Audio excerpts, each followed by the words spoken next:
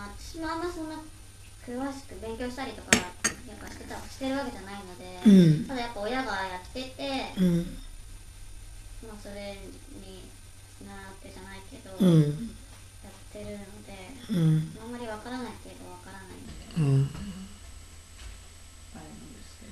まああの逆に言うとねあの今度は世間通例で言うとあのまあ古い話だけどさ、その嫁に行ったところの宗派になるっていう簡単な発想もあるわけだよね。はいうん、信仰は10とは言うけど、まあ、10がゆえに、まあ、嫁に行ったら嫁に行ったところの、まあ、旦那さんがねそんなに別に日蓮召集だの創価学会だのって全然こうあのいろいろ言わない方っていうかむしろ宗教を否定するような感じの方だと思うんですけども。まあそうですね。うん結婚するときに、うんお母さんに嫁に来てもらう人が入ってもらわなきゃ困るっていうのは言われたけど、うん。別に旦那はいいって言ってくれたので、うん。まあそれに甘えちゃってる部分もある。いやまあ甘えてるとか本当言うと本当言うとね強制すべきもんじゃないと思うんですよ。はい。本当言えば。はい。ただ古くからまあまああの檀家寺の信仰の時代はねはい。まあ自然に嫁に行ったら、まあ、そこの宗派をある程度、まあ、踏襲すると、まあ、いう流れはあると思うんだけどただねあの奥さんがその強強にその信尿園に深く帰依してて、はい。深くそこにその、えー信仰心が熱いんであれば、話は別だけど、ご自分も別にそんなに親がやってたからただあでもやめる気はないです。それはねそうするとはい。結局ですよ。その今言った男系が男系に大元が起きてくるってことはまず間違いないよ。新入院のみ家見てごらんず横の人たち今はやめる気はないまあそれがねあの後悔先に立たずっていうことにならないように思うだけですよ。うございますでもそれは勉強もしてないのに、はい。なんでそのやめるやめないがそのいや入っちゃってるものを別にやめる必要もないし。もしそれが毒毒だだったらどうするの？例えば現象として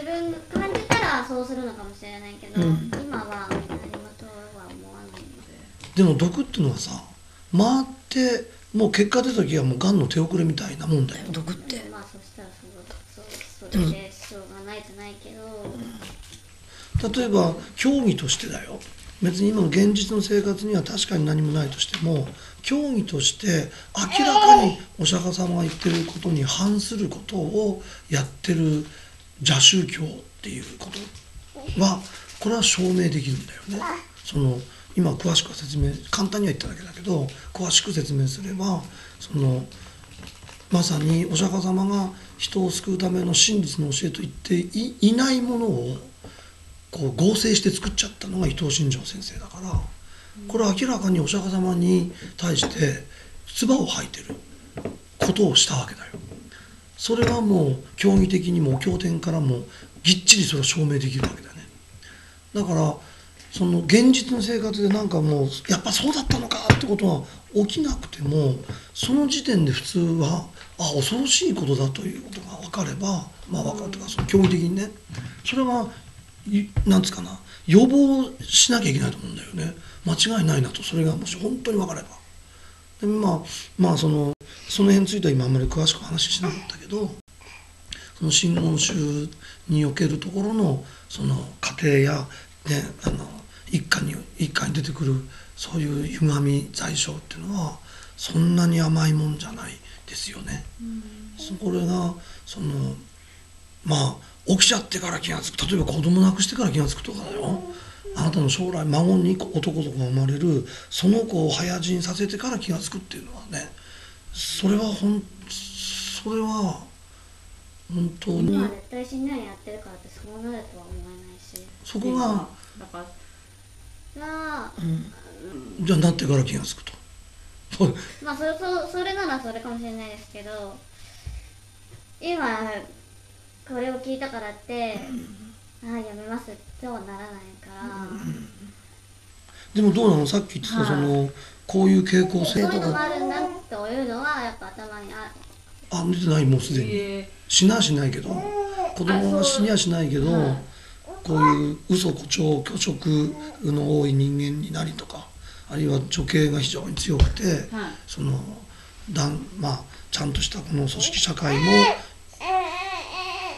上を倒そうとするような心が強かったりとかさそれから家庭で言ったら男性が、まあ、男性を立てないというのかな。柱を立てない。柱を倒すっていうかそういうその無秩序。うんそういうのもあるんだって聞くと、うん。まあ、怖いなとは思うけど、うん。それが本当かはわわからない。周りは全然そういうこと傾向はないの？お宅の実家なんかどうなの？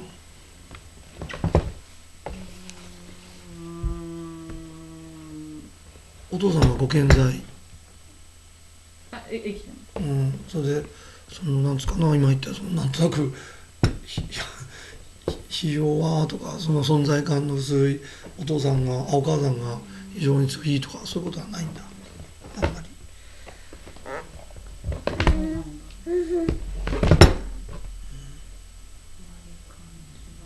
うん。なるほど、うん、まあねこういう宗教のガイドブっていうのはそういう出てみなきゃわからんってこともあるからね。まあ今はそういうふうにうん。な気持ちにはならない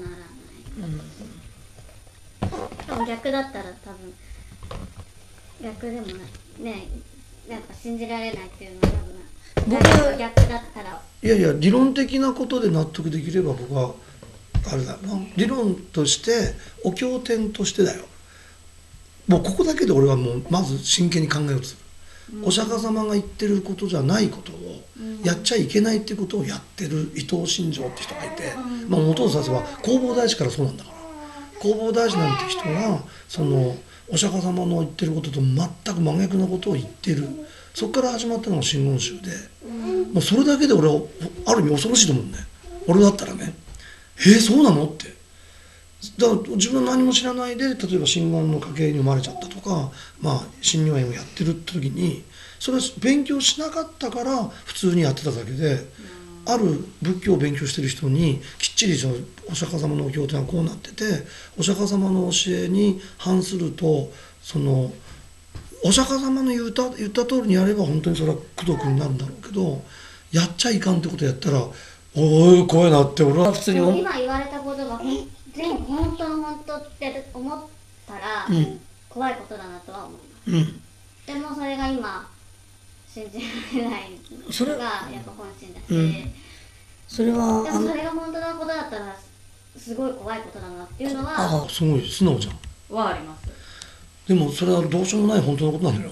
もうこれは僕が言ってるんじゃなくて天台大師って中国のもう天台大師って方が仏教をきちっともう整頓されていてそして法華経まあ教義的なことで言ったらそもそもその、えー涅槃行を立てるなんていうことははい。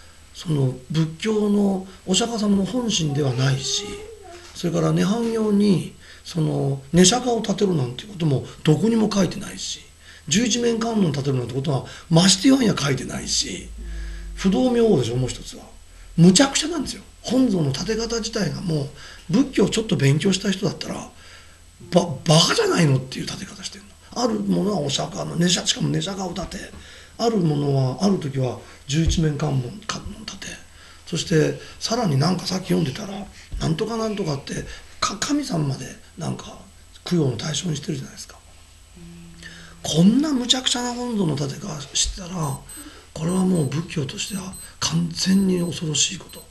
をしているんだと。で真言宗にまあ仮に真言宗から見ても涅槃行を立てるなんつったらもう真言宗から言ったら破門ですよ。なぜかって言ったら、まあ、これも難しい話になるけど簡単にはもう真言宗からしたらあの涅槃行を立てること自体もダメだし本来なら真言宗っていうのは大日教と金剛長教と祖師教しか正しい教はないって言ってるのが真言宗だから伊藤新庄さんっていうのは二重三重にむちゃくちゃやってんだよ。お釈迦様からもむちゃくちゃやってるけど真言宗から見たってとんでもないその異端児っていうか。で名前だけは真言宗の醍醐醍醐寺の権威だけはもらってきてね。つまり権威づけだけしてきてるわけだよ。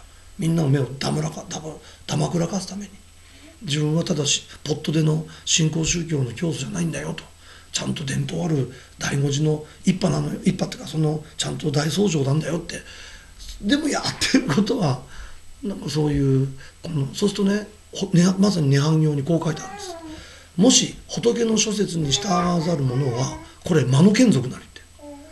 仏のちゃんとしたこの説いたお経典に従わないで、まあ、こういう時代に勝手気ままな仏教を立ててやる人はこれ悪魔。悪魔の眷属だよ。悪魔の所領だよ。